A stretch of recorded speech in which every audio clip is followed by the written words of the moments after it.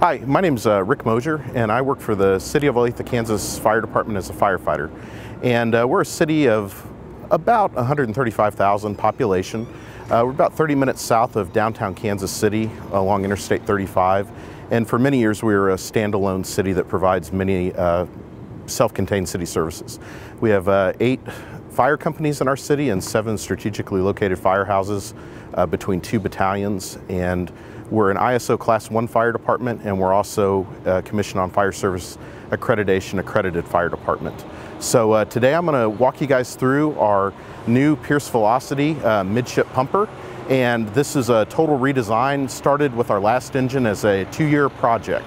So uh, we've got a lot of innovative features here that make it a true aggressive firefighting machine for our uh, aggressive firefighting style in Olathe. So uh, First things on the uh, front of the apparatus.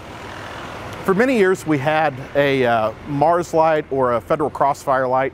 We've returned to a Mars uh, 888 light or traffic breaker to uh, really clear intersections for us and also to hit the back of uh, rear view mirrors of cars for safety. And uh, we found it to be very effective. We actually went with the LED version of this light and so far it's worked very well for us. The, uh, the other thing that we'll hit here in a little bit on the front bumper is the uh, front intake. So we'll talk about that when we come back around. There's some innovative features on that. One of the great features we added on the front of the cab that our engineers requested was the spotter mirror for the officer side so that when we're backing uh, in tight parking lots, we can see the rear bumpers of vehicles. And uh, also when we're making tight turns, we can see vehicles as we make the corner. So it's actually come in very handy for us. We also have a front brow light so that when we pull up at car fires on the interstate or on the state highways or in normal streets at working fires, we can turn that on and illuminate the front of the apparatus. Kind of uh, working our way down, we're super happy. We've had a 30-year partnership with Conrad Fire Equipment and have been very happy that, that, our, that they're our dealer. Uh, one of the really unique things that we did with this engine is we returned to a tread plate floor. And so what we wanted to do is go back to tread plate for durability and also to be able to facilitate cleaning the cab. You know, we know that there's a lot of bugs and things out there in today's fire service and we wanted to make sure we could sweep it out, wash it out if we needed to. And the other thing that we did is we made sure that we went back to heavy duty vinyl seats so they're easy to, to decon and wipe off as needed. And so those are some of the innovative features inside this apparatus that have made it more as I call it, fireground efficient. As we move back here to the jump seat area, we have some roll-up door compartments inside of our cab, and basically in these compartments, we can store the uh, engineer's gear, and then we also keep some of our other tools on the other side, uh, air monitoring equipment and uh, sticker badges for the kiddies. And one of the things that we wanted to do with this compartment is make sure that we could turn the LED lights on and off in it. So we actually have an external mounted light switch um, that allows us to turn the lights on and off manually in there. So if the door accidentally gets rolled up or gets left open, we can actually shut the lights off and it doesn't interfere or reflect at nighttime with the driver. Really open cab in the back and uh, we went with a full tunnel metal mount on the engine tunnel. And that facilitates so we can mount our irons, we can get our can mounted back there, and we can have our flashlights, and it's not into the engine tunnel, it's just on the mounting plate. So we have our tools ready to roll for the uh, firefighter in the jump seat. We're, a, like I said before, we're, we're a very aggressive fire department, and so our guys like to ride backwards, so we made sure that we had backwards facing jump seats included in the cab. And then here, this was an area of the cab that we found where there was uh, wasted space, unused, unutilized space. So we reverse hinged this compartment with the idea that we could mount brass on the upper shelf and we could put nozzles in the foam eductor on the lower shelf. And that way it's reverse hinged so the engineer can just reach out at the panel, grab the needed tools and equipment, and uh, makes it very fast and efficient. We've added compartment door locks as we've done some station renovations. Uh, occasionally we've had the apparatus where we've had to park it outside and uh, we've had some other instances where we want to be able to lock the doors. So we do uh, on the cab we have keyless entry with uh, two keyless entry fobs and a code door. And then on the compartments, we have the locked, lockable doors. So here on the pump panel, this is one of the most exciting things about this engine that makes it truly fireground ready, is the fact that this is a 45 inch pump house. This is a non-Command Zone pump panel. And we lowered our crosslays uh, six inches lower than standard with a handhold. Now, we have one inch and three quarter that pulls from either side, and we have one two and a half that pulls from either side. So whichever way we pull up, if we pull up short at a fire and uh, have the truck company in front of us, we can still deploy our hose efficiently. All manual valves. So we have pulls, and then for our large diameter, for our deck gun, we also have uh, slow open, slow close manual valves. They're indicating valves. We want to make sure that they're indicating. So even on the front suction, we have a manually indicating valve. Uh, one of the great features that Pierce recommended to us is, you know, in, in our setting, we're a an urban suburban fire department. We don't do a ton of drafting, but we added for very minimal cost, we added an additional air prime. So that way, if you don't bleed the front intake, you can give it a couple taps, get the air out of it before you open it up to induce the uh, water into your pump.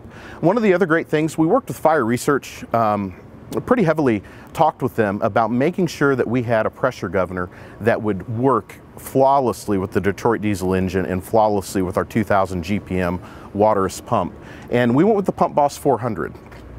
And so far, we have had phenomenal luck with it. It's a super smooth running pressure governor.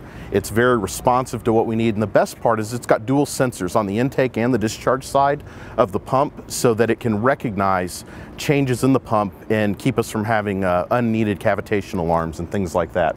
So we're very happy with the pressure governor that we chose on this apparatus. Uh, we carry 550 gallons of water and we also have a 30 gallon uh, Class B foam cell. Now we're not into big foam systems. We really want to keep things simple in our department and we want to keep it operator friendly. So our 30 gallon foam cell is inside there Inside the tank, we have a fuel coupling on the outside that we can hook our foam eductor into. We just pop it, we hook it in, flip it open, and the foam comes out into the eductor and we can either hook it up to a stinger line off of our pre-connect or off of one of the two and a half discharges and we can supply foam without having to have a complicated foam system on the apparatus.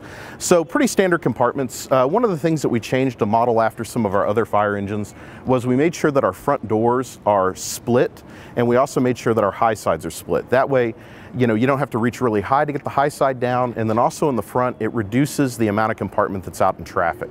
We've always been a very big lap door fire department, so we really like them. Uh, but we wanted to reduce the amount of room that took up in traffic when we were out there. Pretty standard features all the way around here, standard lighting and things. All right, so as we move to the back of the truck, one of the things we wanted to do is make sure that we have our hose bed lower. So we went 40 inches off the tailboard, uh, 67 inches from the lip of the hose bed to the ground. And so that allowed us to make sure that firefighters of normal height could deploy hose effectively. So we do two single stacks, an inch and three quarter, 200 foot on the rear, and a two and a half, 200 foot on the rear. One of the other cool things on the back here that we did is we lowered our hose bed dividers to the absolute height that they needed to be with handholds so that it doesn't cut you off at the waist as you start to uh, load hose. And then here in the rear compartment, we carry an electric uh, positive pressure fan, so sometimes we need to utilize that at uh, fires afterwards or we need to utilize it for CO calls. We have a, a, shoreline plug back here that we can plug that fan into to charge the battery off the shoreline, so no longer do you have to run an extension cord to the back of the apparatus. We also tucked the rear cord reel uh, high up under the hose bed to get it out of the way so that we could gain a lot of usable space in the rear compartment. Now, like I said earlier, um, we're class one and we're also an accredited department, but we also provide advanced life support services from our fire apparatus. Uh, we've had a 41% uh, rate of getting cardiac arrest to the hospital, so it's a pretty positive thing, and that's part of our advanced life support care that we provide. So back here we also have a shoreline plug so that we can charge our suction units in the rear EMS compartment. So that actually provides a lot of uh, benefit to us so we can keep things contained on the unit.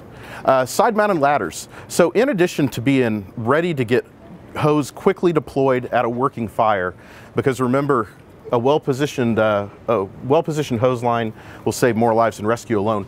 We wanted to make sure that if we needed to deploy our ground ladders, we could get them deployed rapidly and quickly. So we still go with a high side, low side body with externally mounted ground ladders.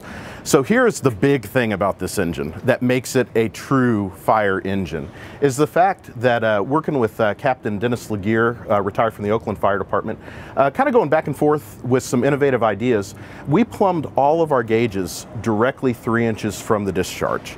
So there are a couple areas where we had to plumb them off the valve due to, to length, but all of our gauges, instead of being plumbed like standard off of the drain, we actually plumb them off of the discharge.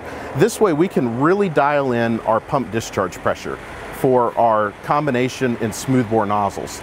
And so that gives us really, really accurate gauge readings. So the Pump Boss 400, the way that our gauges are plumbed, this engine is designed to move water, designed to be a good working fire fire engine. So that's some of the innovative things. Um, in this compartment here, we added a six foot all metal roof hook uh, tube there so you could deploy your roof hook. The firefighter climbing out with his iron set could also grab that quickly.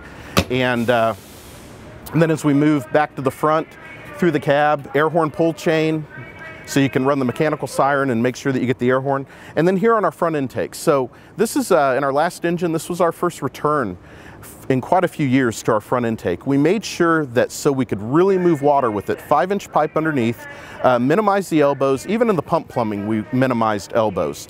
And then here, a six inch intake on top to minimize friction loss. And then we also have a hose storage tray up here. This was something that we worked with our dealer on in Pierce Engineering to get it to where we could store our LDH up here in the front so that we could rapidly connect to a fire hydrant. And then also on the side here on our intake, we went with a special bleeder valve. Instead of having the standard Trident big quarter turn valve, we went the special bleeder so that it reduces the profile and does not make it difficult to get the uh, hose deployed out of there to connect to a fire plug. So those are some of the really innovative things that we've done with this engine to really make it fireground efficient and make sure that we can move water rapidly and we can get water quickly on a working fire. And we can also respond effectively and efficiency to advanced life support and basic life support EMS calls. So thanks for your time today. Really hope that you enjoyed looking at our engine company number four and uh, we'll see you soon.